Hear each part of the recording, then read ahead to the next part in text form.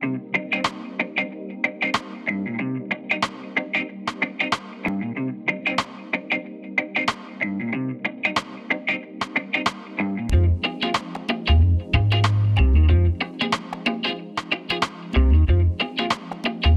So African Monitor is an organization that operates in sub-Saharan Africa and our essence is to build capacity for ordinary citizens to hold their governments accountable.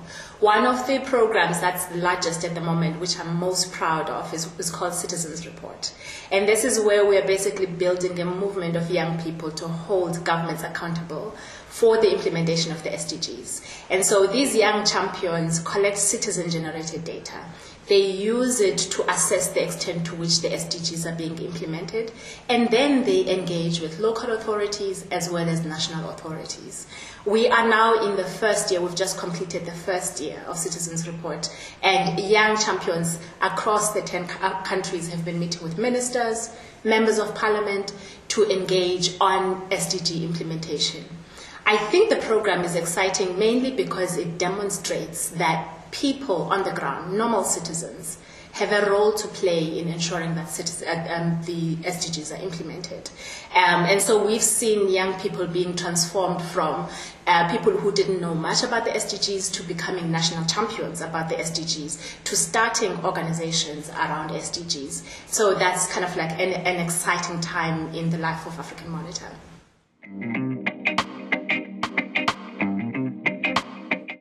Such a big and such an important question. So first let me just talk about the condition of civil society in Africa, period.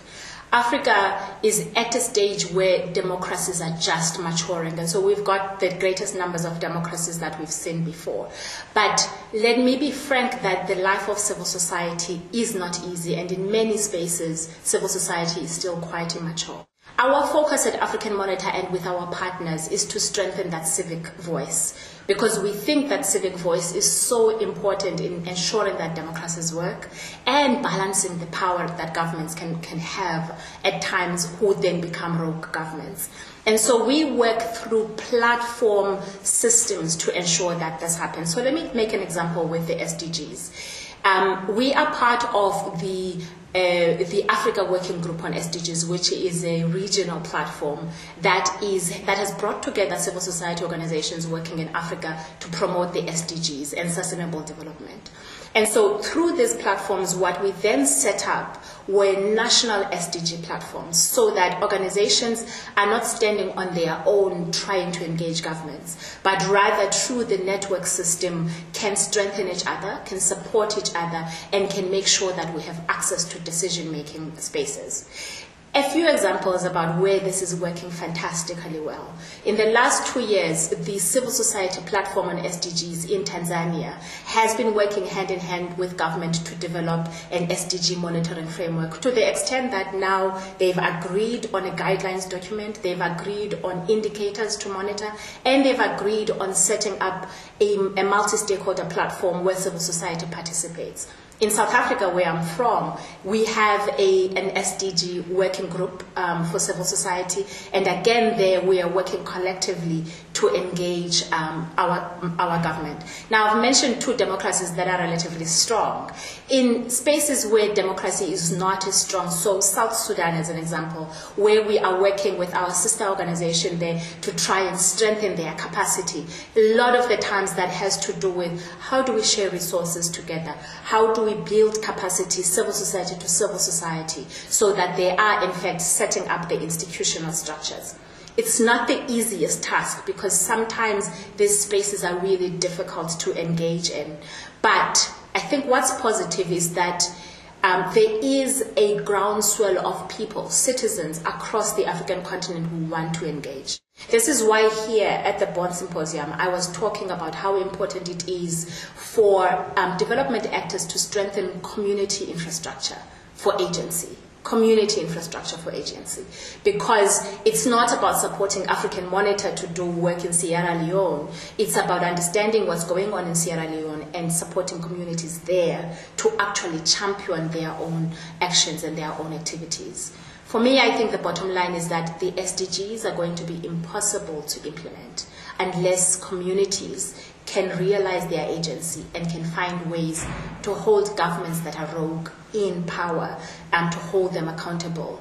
Um, I love this idea that we have to demand, uh, we have to create demand for better gov- governance.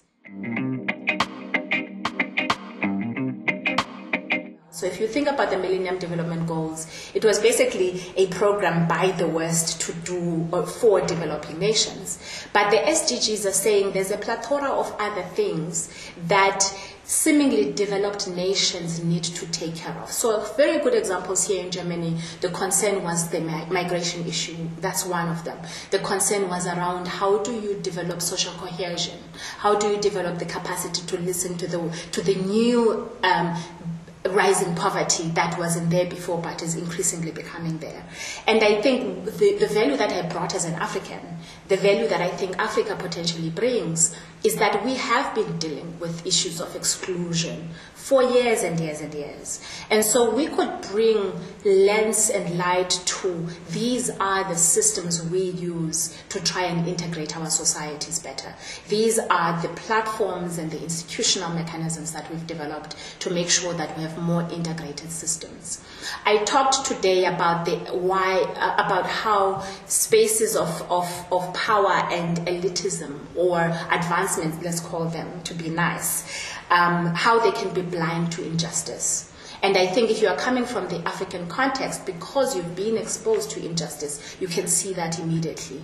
And I think what we can teach the world is to develop the humility and the heart and the eye to see injustice and inequality and the willingness and the political commitment to deal with it so that um, so that it's no injustice is no longer seen as an overreaction or as something that's acceptable because uh, not everybody can be rich, but rather to bring in a new understanding of what humanity should be should be like.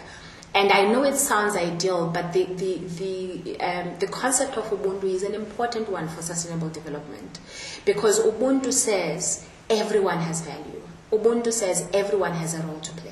And that's what the SDGs are saying. Leave no one behind, essentially saying, let's end inequality. Let's make sure that everybody has the space to bring value to the fore. Even as we're thinking about the fourth industrial revolution, even as we're thinking about how do we leverage innovation from whole populations. But that's what we do best as Africans because we know how to make sure that everyone has dignity, everyone is um, um, is related to as a dignified human being, as it were. The other last thing I think is around where economic advancement has taken place in nations of the world like Germany or other European countries. There's a special role and responsibility that countries like that have to play. And in the past, that role was seen as come, we'll help you fix it, or we'll fix it for you. That role is changing. But it doesn't mean the role is not there anymore. It just means that the way in which countries like that lead now has to be inclusive, has to be about listening and understanding what's needed on the other side, and then be willing to create the spaces where co creation can take place. But the leadership is important, that the leadership has to be there. In a world where populism has become the thing, in a world where Donald Trump is a president, it is important that you have powers that are willing to say, no, it's not okay to discriminate. No, it's not okay to lead with prejudice. No, it's not okay to sow divisions in the world. And to have countries like Germany to stand up and say, we want to create a better world. We want to create a sustainable world. And this is how we're going to do it and lead in that process.